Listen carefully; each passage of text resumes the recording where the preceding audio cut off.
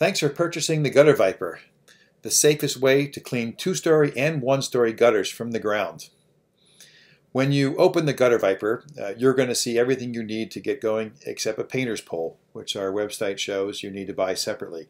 We really like the Mr. Longarm painter's pole. Uh, it works really well and extends quite uh, far, up to 23, 24 feet. But you could use any painter's pole. Here are the steps that you need to do, just step by step to set this up. First, you're going to screw in the painter's pole. You'll want to extend the painter's pole a little bit, three or four inches, so it easily screws into the sled of the gutter viper. Then you're going to spread out your ripstop nylon tube, and you'll want to lay out the ripstop nylon tube parallel to the painter's pole, so about the same length of the painter's pole, maybe a little bit longer. You're going to place the leaf blower at the end of the painter's pole, and now you're going to attach the ripstop nylon tube to the leaf blower.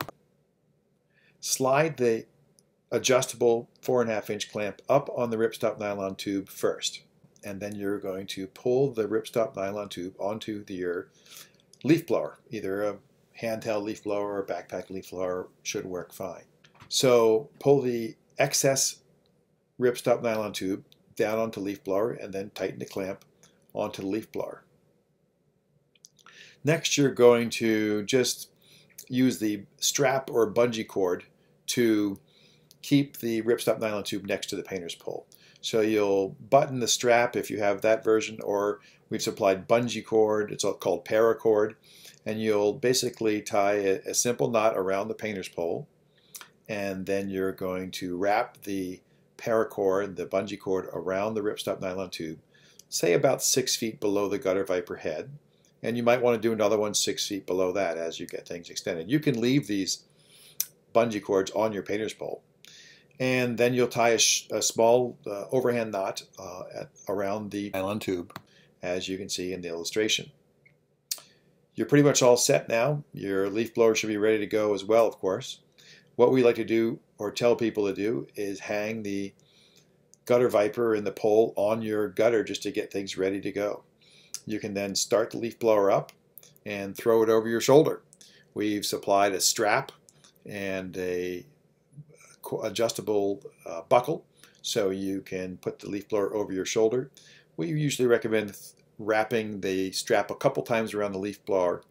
Don't forget you have a throttle on your leaf blower either a handheld or a backpack leaf blower, and you'll want to use that throttle. You'll start the leaf blower up, and you will then clean your gutters. It'll do a long length of gutters fairly quickly, as you'll see. Some people will want to lean it forward and work ahead of themselves uh, just to uh, keep any debris uh, away from them, but it blows the debris quite, quite a ways forward. Two tips. You want to make sure that the ripstop nylon tube doesn't twist or kink, particularly near the gutter viper head. So if you don't see the tongue on the gutter viper, the yellow tongue vibrating, that means there's no air going through it and it probably twisted right there.